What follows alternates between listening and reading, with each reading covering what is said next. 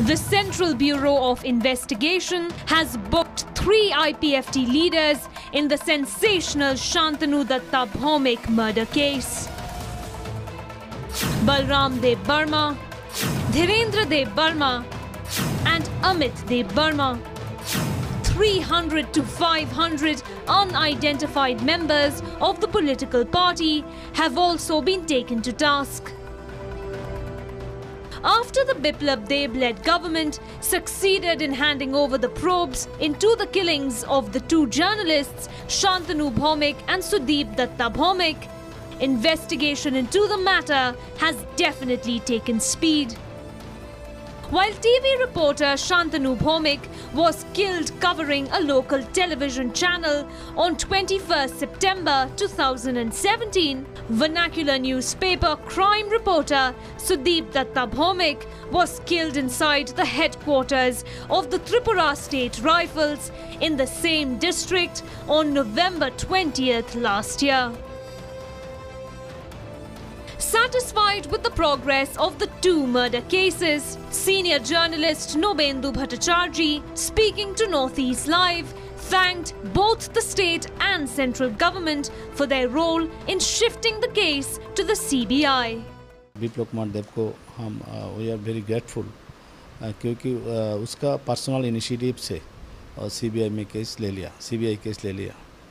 और we are grateful central home minister Rajnath Singh ji we are grateful honourable president Ramnath Kovind ji, उन्होंने भी एक president भी एक लेटर भेज दिया प्राइम मिनिस्टर का ऑफ़िस में उसमें भी लिखा, आप कंसिडर कर सकता है दोस्त केस में। He alleged that both murders are pre-planned and with the CBI now handling the case, all the conspiracy in the matter will be unveiled and it will happen very soon.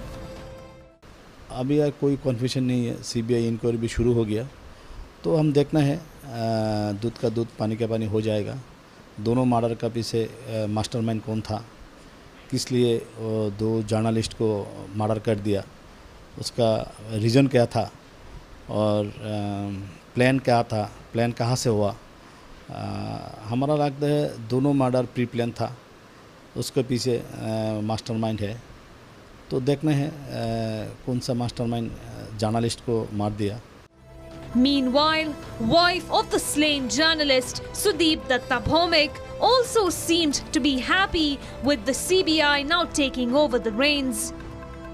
Expressing her faith in the central government, she said she now eagerly awaits justice. তবে রাজ্য সরকারের উপর আমার পুরোপুরি আস্থা আছে আমার ফ্যামিলির তরফ থেকেও সবারই বিশ্বাস আছে যে উনি ঠিক ন্যায্য বিচারটাই পাইয়ে দেবেন আমাদের। আর সিবিআই দেওয়াতে আমরা খুশি। সঠিক বিচারটা হবে এখন।